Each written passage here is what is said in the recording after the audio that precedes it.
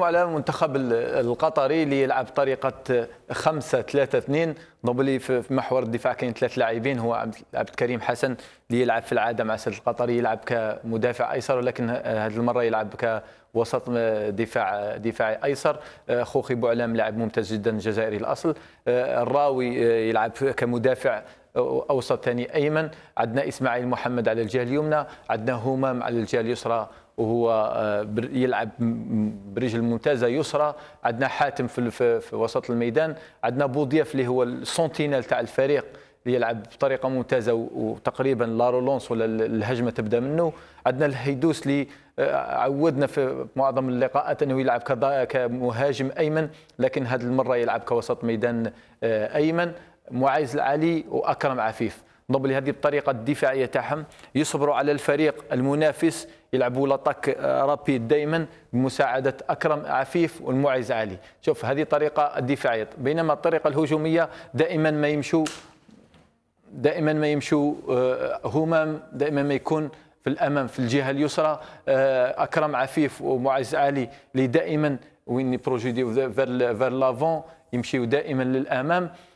لما واحد من وسط الميدان ياخذ الكرة الأول واحد يمشي مع المهاجمين هو الهيدوس يكون دائما معاهم. ثانيا حاتم اللي دائما يكون في, في التغطية إذا الكرة رجعت في, لو دوزيام بالون. مع أن وسط الميدان اللي يشارك كثير في, في, الهجمات وسجل الكثير من الأهداف منهم حاتم والهيدوس. وسط الدفاع اللي يطلع مع مع لو بلوك ويريح دائما في وسط الدفاع. لو تشوفوا آه، همام آه، لو نرجعوا فقط آه، شوفوا همام لما يكون صعود الأظهرة صعود هذا الأظهرة أمر مهم جدا في المنتخب القطري عمار خاصة الجهة اليسرى والجهة اليمنى. لكن كاين نقطة ضعف اللي لاحظناها في المقابلة هو الجهة اليمنى، الجهة اليمنى لإسماعيل محمد اللي ما يغامرش كثير في الهجوم ولكن من الناحية الدفاعية آه، إسماعيل محمد ضعيف جدا خاصة يتلقى صعوبات كثيرة لما يلعب مع لاعبين نعم. آه، تقنيين جدا.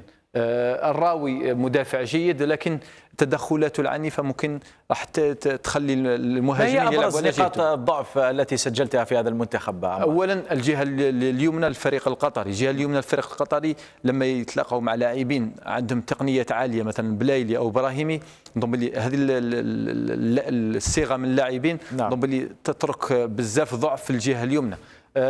وسط الدفاع رغم أنه مركز جيدا وخمس لاعبين ياخذوا largeur بطريقة جيدة إلا أنهم ضعاف في الرجوع لما يديروا ضغط في رجوع la transition offensive لل défensive. donc ضعاف جدا.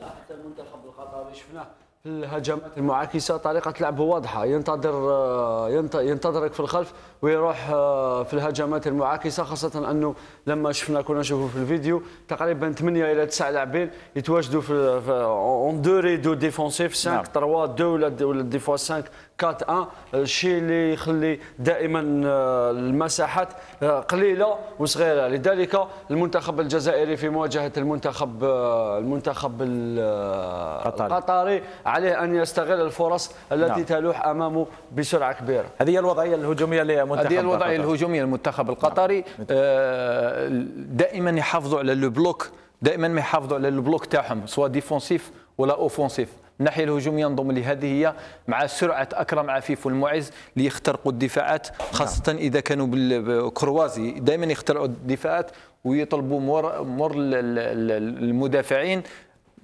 ضد فرق ولا منافسين يلعبوا تقريبا بنفس طريقة المنتخب الوطني فرق اللي يواجهوها يعني المنتخب القطري في اعتقادك لن آه، يبادر إلى الهجوم وسيترك الكرة للمنتخب الجزائري؟ هذه طريقته. حتى في لما لعب مع البحرين في فريق متواضع لما لعب مع عمان فريق متواضع بطريقته أنه يستنى يصبر على الفريق ويلعب على الهجمات المعاكسة اللي جيد فيها.